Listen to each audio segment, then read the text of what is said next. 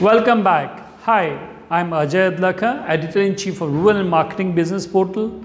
And if you have been following all my videos, you already know how close my mission is to my heart on simplifying rural marketing for the marketers. Right now, I'm doing a six-part series on the Great Indian Rural Mall. In the series, you have already seen videos on rural haats, rural melas, rural sports and rural festival. To continue this series, let me welcome you to the new perspective on rural Mandis. The information which you will be getting in next 5 minutes will change the face of your business. How many of you would like that? So make sure you watch this video till very end. Rural Mandis are the marketplace where farmers sell their farm produce to the traders. If your target audience is rural India, then you cannot ignore the great platform for rural marketing, the Rural Mandis. According to recent NSO study, India has 90.2 million farmer households who constitute 57% of Indian rural population. It is practically impossible to reach 70% of Indian population living in these villages.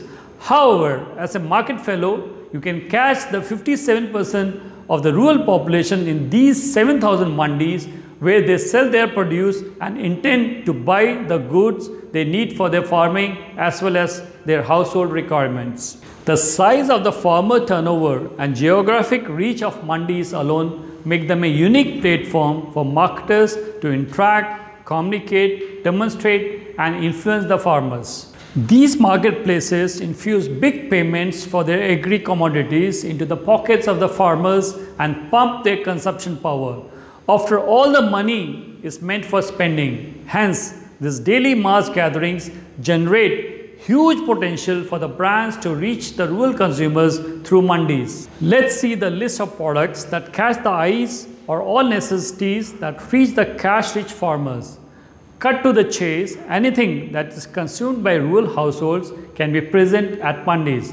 However, there are some specific products which can get you greater monetary benefits from these market yards, such as agrochemicals, automobiles and lubricants, tractors, farm machinery, tires and tubes, durables, banking and insurance, cattle feed, FMCG and so on. Mandis provide a plethora of opportunities for the marketers to directly communicate with the farmers.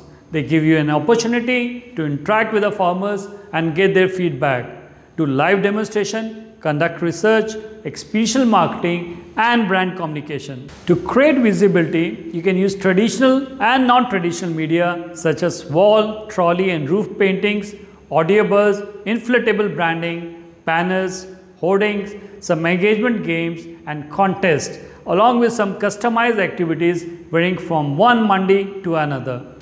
Apart from directly selling products and services to the farmers, Mandis also provide big platform for long-term branding due to abundance of opportunities. You have seen in one of my old videos on Gram Panchayat how a global agribusiness company, Syngenta, increased brand awareness by doing CSR activities in one of the mandis. So now that all marketers know the true power of rural mandis, how many of you would like to capture it? I have a special gift for all my viewers. So here is a deal. All you need to do is log on to our website www.ruralmarketing.in. I repeat www.ruralmarketing.in. Click on the banner to get a complete list of mandis across India which will assist you in planning a strong rural marketing strategy. Thank you for watching the video. If you have missed any episode, Watch the previous episodes of this full series on my channel. If you want something more interesting, just let me know and you will have it. In case you have still not subscribed to my channel, please subscribe now. Do look out for the bell icon and ring it now so that you get notifications whenever a new video comes out. Thank you so much. This is Ajay Adlakha signing off. Watch out for my next video for another great opportunity in rural areas which is going to be on marketing in agriculture fairs.